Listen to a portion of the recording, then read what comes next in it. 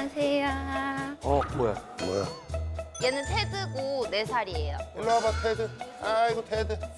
깎아줄 게 없어. 아저씨한테 강아지 냄새 나지? 나도 비숑 있다. 멋져 테드. 아이고 귀여워요. 미안한데 저기 오늘 고민이 뭐라고 그랬지?